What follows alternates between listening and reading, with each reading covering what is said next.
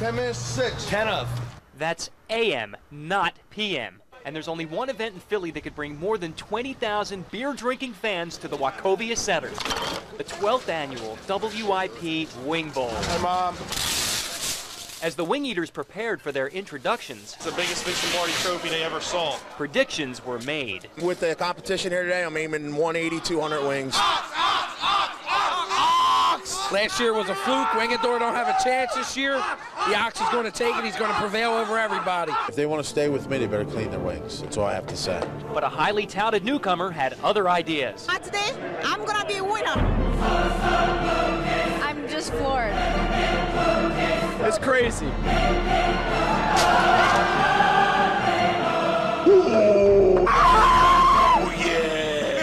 Roman orgy.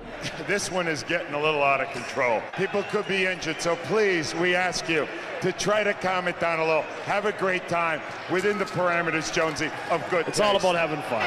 Go! Go! You may now begin eating.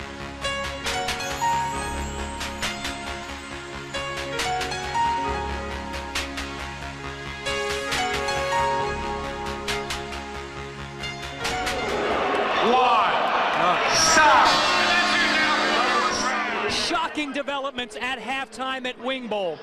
Early on, Yao Wing dropped out after eating just six wings, and Cortland Nathaniel Bloomington III was shaking, and we all know what that means.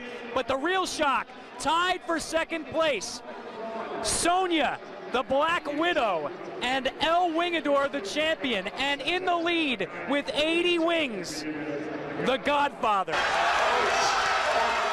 When the halftime festivities concluded, the focus the focus returned to the four-time champ and the 99-pound phenom.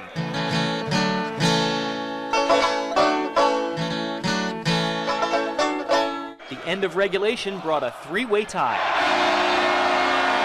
And the trio of El Wingador, the Black Widow, and Ed Cookie Jarvis cleaned up for an extra period.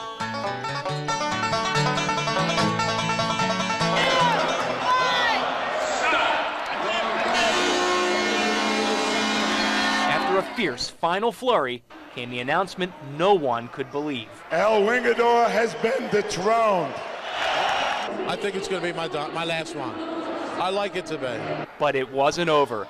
Ed Cookie Jarvis and the Black Widow were tied at 153 wings. By A score of 167 to 165. The winner and new Wing Bowl champion is the Black Widow, Sonya, Sonya Thomas. Thomas!